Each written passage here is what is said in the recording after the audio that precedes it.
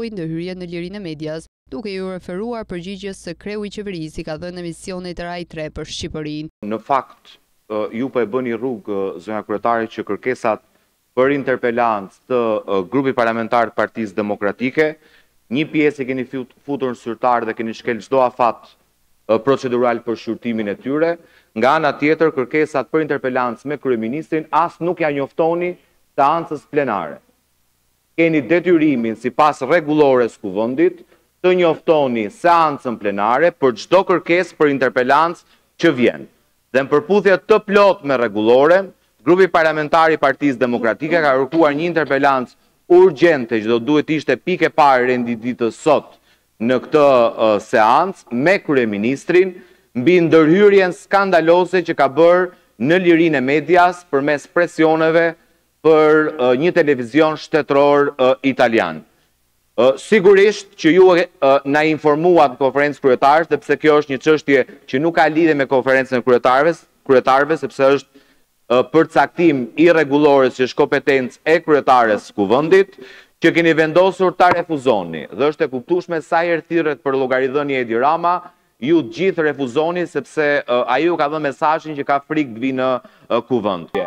Me të njëjtin objekt.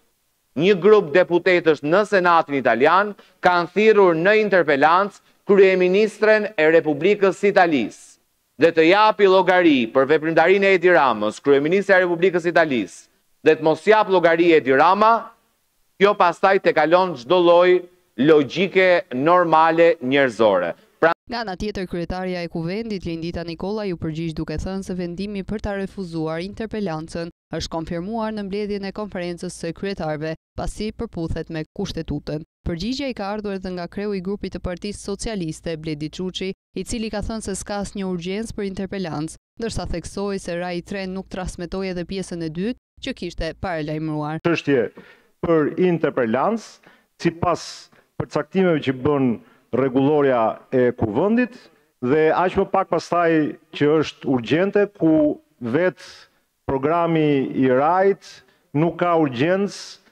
meqë vetë e ka shtyrë edhe pjesën e dytë të emisionit. Kështu që. Kërkesa e Bardhit për interpelancë është rrëzuar me pesëdhjetë e gjashtë vota kundër. Nga ana tjetër, deputeti demokrat Asllan Dogjani në fjalën e tij në Kuvend kërkoi sqarim nga ana e mazhorancës për mosprezencën e kryeministrit Edi Rama në seancat plenare.